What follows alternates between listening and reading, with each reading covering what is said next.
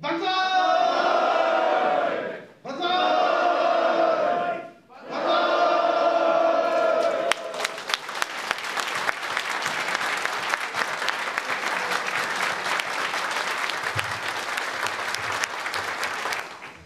あの今回の選挙は先ほどインタビューでも申し上げましたが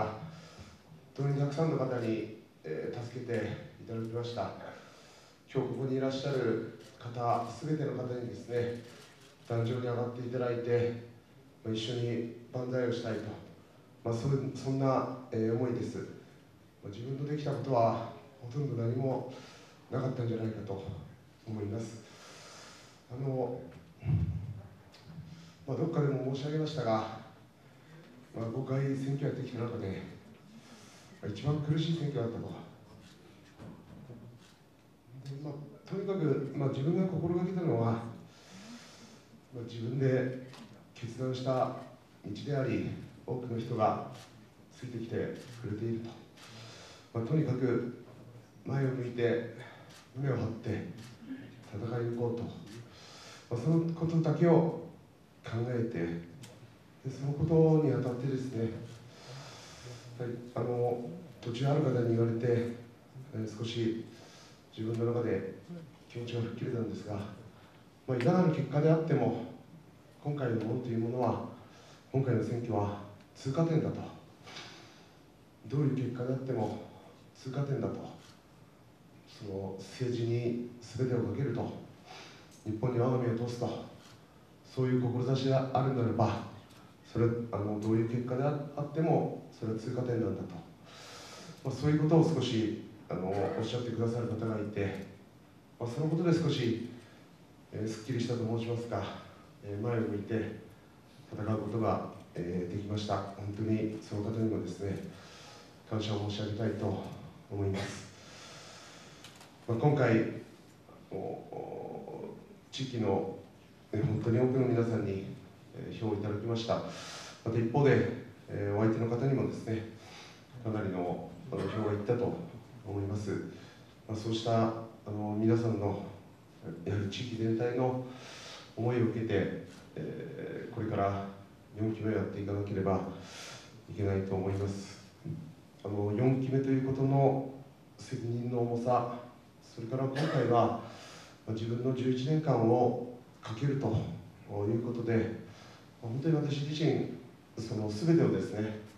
えーさらけ出すといいますか、まあ、自分のこう本心を選挙戦にぶつけました。まあ、そういう中で、えー改めてここでは申し上げませんが、また、あの野郎でかいこと言いやがってと、そんなようなことも申し上げたと思います。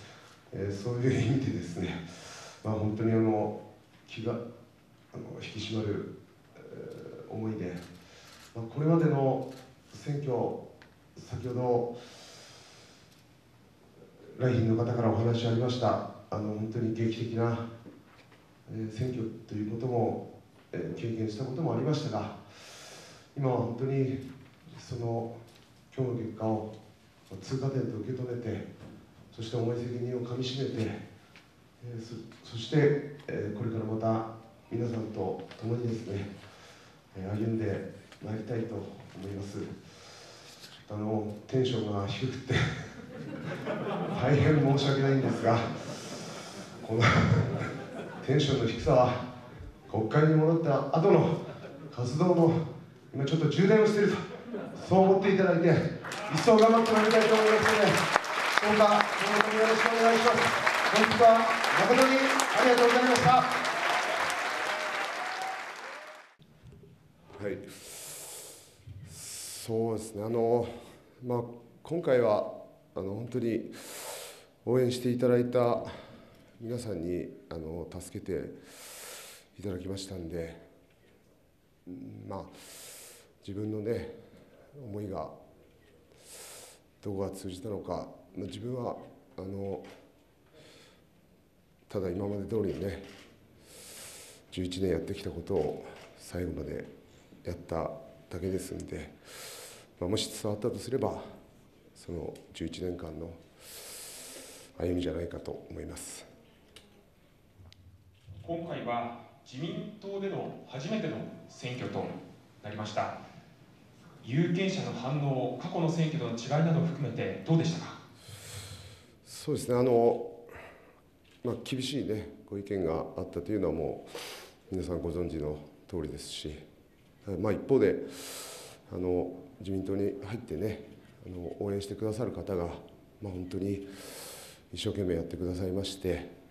あの、まあ、5回目の選挙になりますけど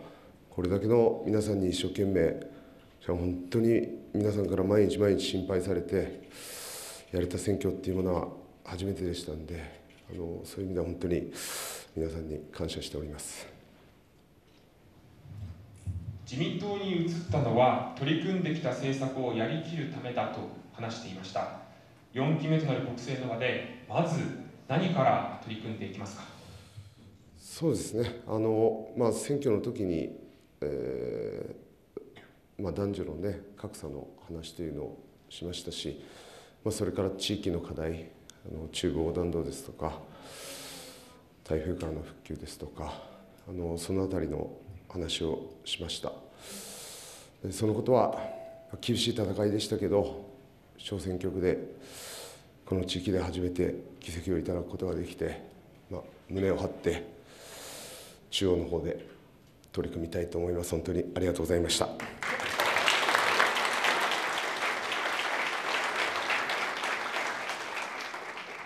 今お話になった政策について実現のために具体的にはどんなことが必要になりますか？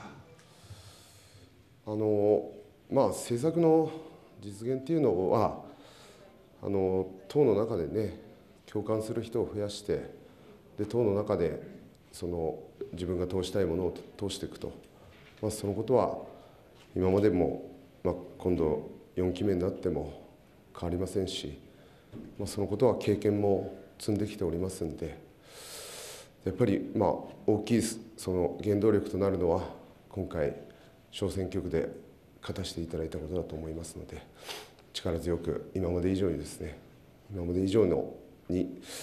あの仲間を増やせると思いますんでしっかりと進めてまいりたいと思います。最後の質問です。すべての有権者と丁寧に向き合いたいと望んでいました。その中でどんな声が聞こえてそれに対してどう行動していこうと思っていますか？そうですね。あのまあ本当に今回の選挙私自身の自民党入りが一つ問われる選挙でしてあの本当に古くから自民党をねずっとやってきてくださった皆さんにまずあの自分自身が受け入れていただきまして本当に応援をいただきました。で公明党の皆さんにも大変お世話になりました。あと、まあ、私をねずっと11年間変わらず応援してきてくれた方もいますし、まあ、その中にはもしかしたらその私の今回の決断というものはねあの不満の方もでそれでも応援してくださる方っていうのもいらっしゃると思います、まあ、当然、まあ、今回得票いただけなかった方もいますしあの全ての有権者に向き合うっていうことはあの批判の声にも向き合うことですしそれはあの苦しいことなんですけど、まあ、あの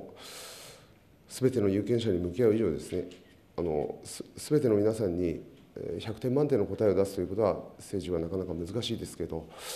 すべての皆さんの思いを受け止めて声を聞く以上はですね思いを受け止めてやっていきたいと思います。インタビューは以上です。入吉さんでした。